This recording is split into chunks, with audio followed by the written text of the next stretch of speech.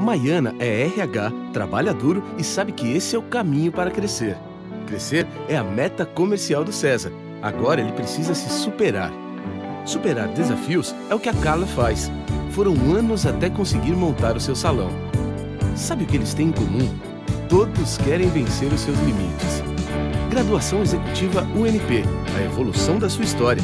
Alunos a partir de 27 anos. Aulas duas vezes por semana. Inscreva-se já.